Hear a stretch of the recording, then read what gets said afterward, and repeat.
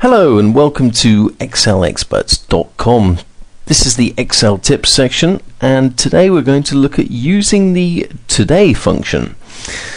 So the today function in Excel looks fairly inoffensive. You just type equals today, open brackets, close brackets, and it just returns a date.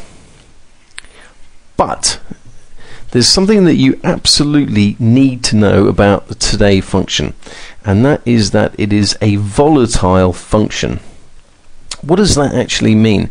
It means that this function will calculate and all of the cells that are dependent on it and all of those cells that are dependent on the cells that are dependent on it etc etc etc ad infinitum will be calculated whenever anything happens on the worksheet. I am going to prove this to you.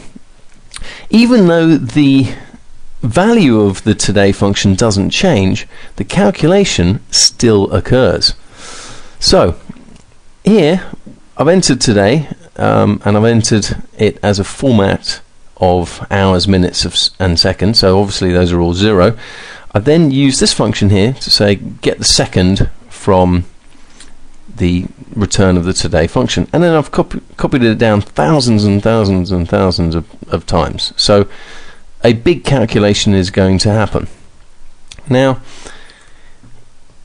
you would have thought that if you type something into a cell, this function here would not recalculate because it isn't dependent on whatever I type here.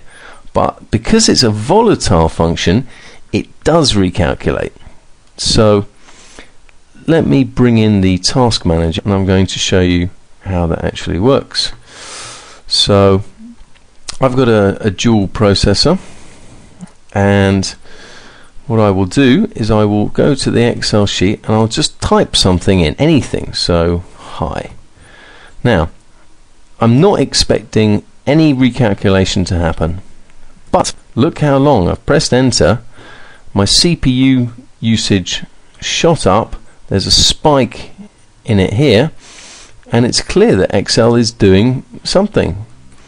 Let's just demonstrate that again. Type in something in any cell. Boom. Massive spike. My process processor gets jammed.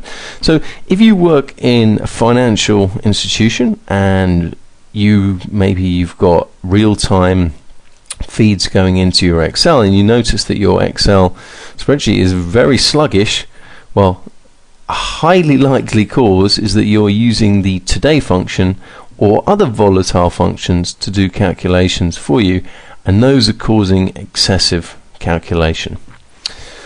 You've been listening to excelexperts.com. Thank you for listening.